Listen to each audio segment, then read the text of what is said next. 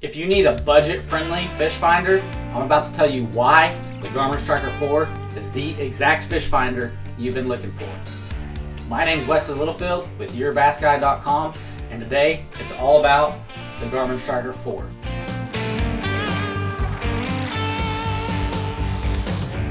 I bought this specific one with my own money, and it's mine that I use personally, so in no way is this sponsored by or anything by any company. This is my own personal opinions, unbiased, because I spent my dang old money. There will be affiliate links in the description below if by the end of this video you've decided that, hey, it is what I want, and we will get a small commission back from that, but that's at no extra cost to you. Otherwise, let's get into why I think this is the best budget-friendly fish finder. The first reason I think that this is a the best budget-friendly fish finder is because it's very inexpensive. You can go and pay less for lower quality fish finders, but they're lower quality. They're not going to be as accurate and they're not going to have the features that this specific one has. Now, granted, that said, keep in mind that this is still budget friendly, so it's not going to have all the awesome latest greatest features and we'll talk more about that here in a second. But you can expect traditional sonar which is basically just your cone looking down below your transducer and it's going to show you arches or humps of what it thinks fish are and it will show you to a degree of you know there's a brush pile here or there's some kind of rock formation here or whatever but for the most part it's just going to show you arches, and you're going to have to pick out, uh, I think this is a fish and not a tree, or no, this is definitely a tree. And so it's not the best, but to learn on, I found it very comforting because it just wasn't overwhelming. It also has uh, GPS capabilities. Now, you hear that and you think, oh, great, maps. It does not have maps. It literally has a white screen and it shows you as the boat and you can drop a waypoint and travel to that waypoint, but it's not going to show you a map of the lake. So yes, it has GPS capabilities, but it's really just for like marking a waypoint and heading to that waypoint. That's it. It's not going to give you lake depth. It's not going to give you anything like that.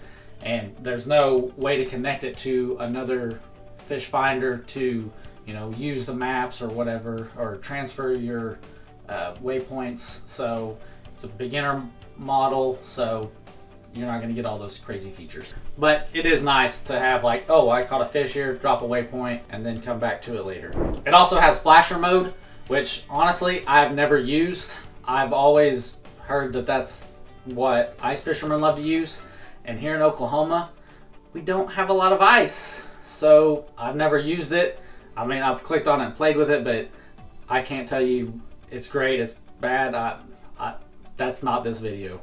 But it is there. I know they sell a portable version for ice anglers that, um, you know, comes in like a little bag and a transducer. And that might be an option you want to look at if you're an ice fisherman and a kayak fisherman or a small boat fisherman. You can split screen as well. So you can run the flasher and traditional sonar or traditional sonar and the mapping uh, air quotes around mapping because it's not really a map but you understand what I'm saying. So you can run both of them at the same time. That's really great except the screen is tiny so you're looking at I mean just little bitty slivers of it.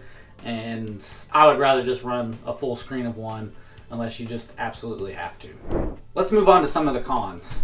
Number one I've already kind of mentioned the screen is very small um, you know, it's it's not going to be one that you want to put on a bass boat and you know you're setting it at the front of the boat and fishing with it.